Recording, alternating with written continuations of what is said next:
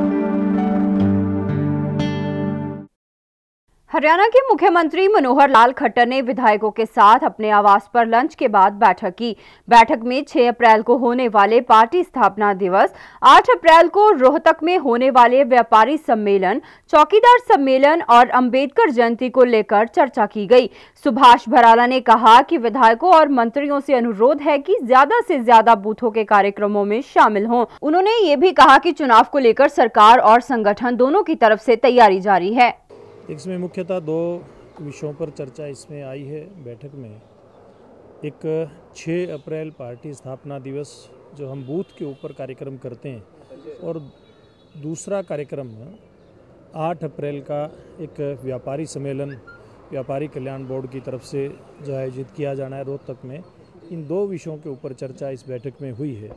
Party के हम जो छः कार्यक्रम बूथ की समितियाँ करती हैं, बूथ के ऊपर करते हैं हम उनमें से एक कार्यक्रम भारतीय जनता पार्टी का स्थापना दिवस भी है छः अप्रैल का।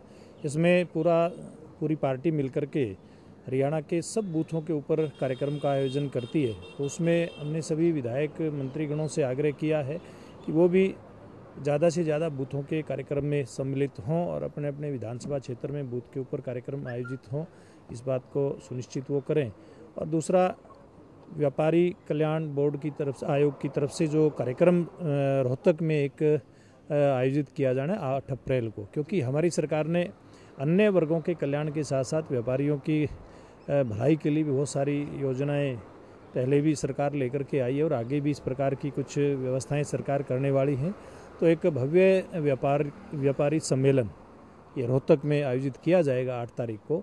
इसकी भी रूपरेखा इस बैठक के अंदर तैयार दो तारीख को इसके अंदर, हिसार के अंदर चौकीदार का सम्मेलन होगा।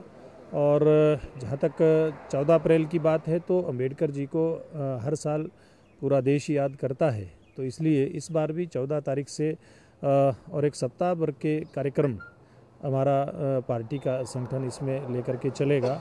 और इसकी भी चर्चा इस बैठक के अंदर हुई है।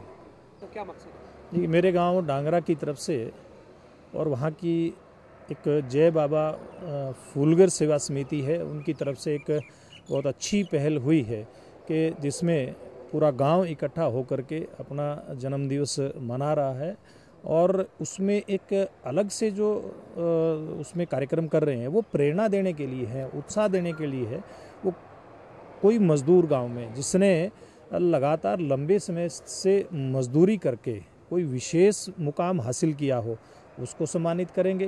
कहीं कोई किसान जिसने विशेषज्ञता कृषि के क्षेत्र में हासिल करी है, उसको सम्मानित करेंगे। किसी ने पशुपालन में किए, उसको सम्मानित करेंगे। इसके अलावा बेटी बचाओ, बेटी पढ़ाओ, स्वच्छता कोई छात्र विशेष की कोई इस प्रकार की उपलब्धि है, चाहे छात्र है, चाहे छात्रा है, या उद्योग के क्षेत्र में, सर्विस के क्षेत्र में इस प्रकार की अलग अलग सूचियाँ गाँव की समिति की तरफ़ से बनाई गई हैं और जिन भी ऐसे बंधुओं ने विशेषज्ञता हासिल की है, उनको गाँव की तरफ़ से सम्मानित किया जाएगा ताकि उनसे प्रेरणा लेकर के गाँव के अन्य लोग भी इस दौड़ में शामिल हों कि किस प्रकार से अपने गाँव को तरक्की के रास्ते पर लेकर के जाया जा सकता है, किस प्रकार से भ्रूण हत्या को ख़त्म किया जा सकता है, किस प्रकार से स्वच्छता अभियान को गति दी जा सकती है, किस प्रकार से पानी बचाने के मामले में, जिसकी आज बहुत ज़्यादा ज़रूरत है, इसको गति दी जा सकती है। तो एक बहुत ही प्रेरणादायी कार्यक्रम कल मेरे गाँव में इसका आयोजन किया गया है और इसमें हमने आसपास की पंचायतों को और प्रमुख लोगों को भी इस कार्यक्रम में बुलाया है ताकि इस कार्यक्रम से प्रेरणा लेकर के और भी संगठन दूसरे गाँवों के इसमें आगे आएँ और कई लोगों ने मुझसे संपर्क किया है कि वो भी इस प्रकार के कार्यक्रम अपने अपने गाँव में गाँव में आयोजित करने वाले हैं, उनकी इच्छा है ताकि उनके गाँव के लोग भी इस बात से प्रेरणा ले सकें। देखिए, पहली बार ये तय हुआ, सब लोगों ने चर्चा करके कि नव वर्ष विक्रमी सम्मत की एकम को हम गाँव का जन्मदिवस मनाएँगे। इस बार कार्यक्रम रखा था, किसी कारण से वो उस दिन हमें स्थगित करना पड़ा। तो वो उसकी बजाय कल द्वादशी को ये कार्यक्रम रखा है, लेकिन हर साल नव वर्ष की पहली तिथि को ये कार्यक्रम आयोजित किया जाएगा। ये हमारा, देखिए, रूटीन का प्रोग्राम है। हर पंद्रह दिन के बाद, बीस दिन के बाद विधायक दल की बैठक होती है। जो बैठक होती है तो फिर भोजन का समय हो जाता है।